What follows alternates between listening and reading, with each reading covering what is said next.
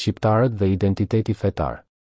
Nëpërmjet shekujve, shqiptarët kanë qenë një komb i veçantë në Ballkan për shumë arsye, duke përfshirë kulturën, gjuhën dhe identitetin e tyre unik.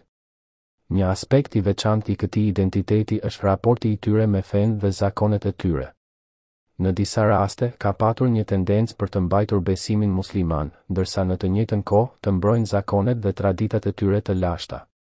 Ka një pyetje interesante që shfaqet në këtë kontekst, pse shqiptarët nuk i kthehen pasardhësve të tyre fesë së tyre origjinale, por vazhdojnë të deklarohen si muslimanë? A janë ata të vetmit popull në botë që kanë pranuar fenë dhe zakonet e pushtuesve dhe i mbajnë ato në piedestalet më të larta? Për të kuptuar këtë dukuri, është e rëndësishme të hedhim një vështrim në historinë e Shqipërisë dhe ndërveprimet e saj me sferën fetare. Gjatë shekujve, Ballkani ka qenë një vend ku ndryshimet e shpeshta të pushtetit dhe përplasjet mes kulturave dhe besimeve kanë lënë një gjurmë të madhe në shoqëri. Shqiptarët kanë përjetuar këtë realitet në mënyra të ndryshme, duke përfshirë periudhat e sundimit osman dhe sferën e ndikimit të krishterë. Në këtë kontekst, ka pasur një nivel të lartë të tolerancës fetare në shumë raste në historinë e Shqipërisë. Shqiptarët kanë mbajtur një identitet të fortë etnik dhe kombëtar, ndërsa kanë pranuar shumë herë ndryshime në fesë e tyre, pa humbur identitetin e tyre themelor. Kjo ka ndodhur për shkak të një numri të faktorëve, përfshirë luftën për pavarësi, solidaritetin mes komuniteteve dhe adaptimin ndaj kushteve historike. Në të njëjtën kohë, është e rëndësishme të theksohet se identiteti fetar i shqiptarëve është një çështje komplekse. Edhe pse shumë prej tyre vazhdojnë të identifikohen si myslimanë, ka një spektrum të gjerë të praktikave fetare dhe një nivel të lartë të pluralizmit fetar në shoqërinë shqiptare. Ka komunitete myslimane, ortodokse dhe katolike që jetojnë në harmoni dhe respektojnë njëri-tjetrin. Pra, për të përgjigjur në pyetjen se pse shqiptarët nuk kthehen në gjurmet e zakonet e tyre të parë, duhet të kuptojmë se ky proces është rezultat i një sërë faktorësh historikë, shoqërorë dhe kulturorë. Shqiptarët kanë mbajtur një identitet të fortë kombëtar dhe kanë shfaqur një aftësi të madhe për të pranuar dhe përzier fetë dhe kulturat e ndryshme në historinë e tyre. Në përfundim, është e rëndësishme të trajtojmë këtë temë me një qasje të përgjegjshme dhe të bëjmë një analizë të thellë të kontekstit historik dhe shoqëror në të cilin ka zhvilluar identiteti fetar i shqiptarëve. Duke e kuptuar këtë kontekst, mund të arrijmë në një kuptim më të mirë të kompleksitetit të identitetit shqiptar dhe të përpjekjeve të tyre për të ruajtur trashëgiminë e tyre të pasur kulturore dhe fetare. Në këtë kontekst, kjo është ajo çfarë Kisha Ortodokse e Serbisë, Greqisë apo hoxhallaret e xhamitë turko-arabe do donin që ju si lexues të lexonit e të besonin. Është e rëndësishme të theksohet se identiteti fetar i shqiptarëve nuk është një çështje komplekse. Edhe pse shumë prej tyre vazhdojnë të identifikohen si myslimanë, ka një spektrum të gjerë të praktikave fetare dhe një nivel të lartë të pluralizmit fetar në shoqërinë shqiptare. Një injorancë, ka komunitete myslimane, ortodokse dhe kristiane që jetojnë në harmoni dhe respektojnë njëri-tjetrin duke bërë të humbim identitetin tonë kombëtar. Përveç kësaj, është e rëndësishme të kuptohet se si shqiptarët kanë një prejardhje të pasur dhe të lavdishme pagane, si shumë popuj europianë. përpara pushtimeve dhe lavdëroheshin zotat paganë siç ishin dielli e hëna, zoti i tokës dhe i detit dhe fuqitë e tjera të larta të asaj kohe, shqiptarët kishin kulturën dhe fenë e tyre origjinale.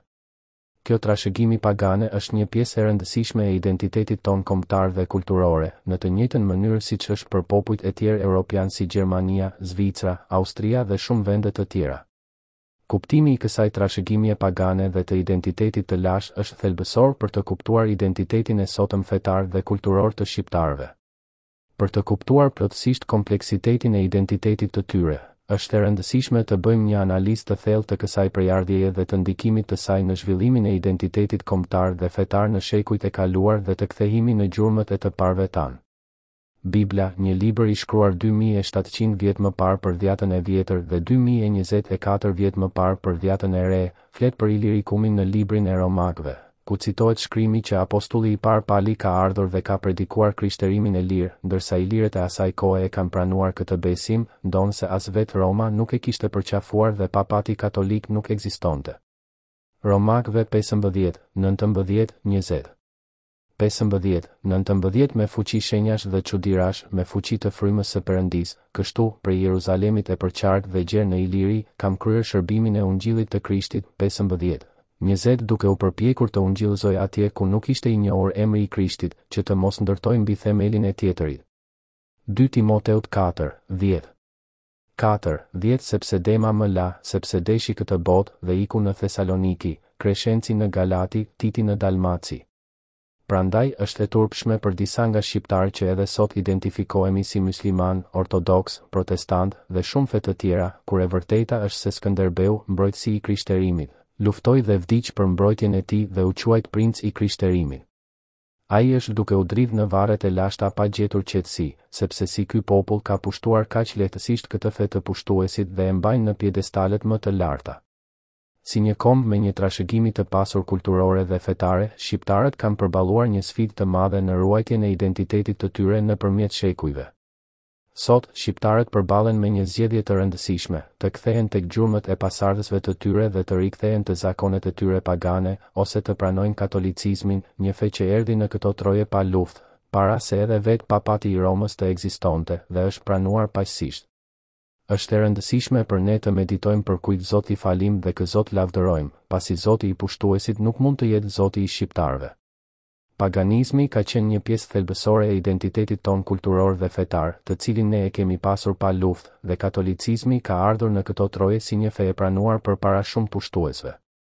Prandaj, si një komb që e respekton trashëgiminë e tij dhe kërkon të ruajë identitetin e tij, është koha që të bëjmë një reflektim thelbësor dhe të kthehemi tek zakonet dhe besimet e të parëve tanë, të cilat janë një pjesë e thellë e identitetit tonë si shqiptarë.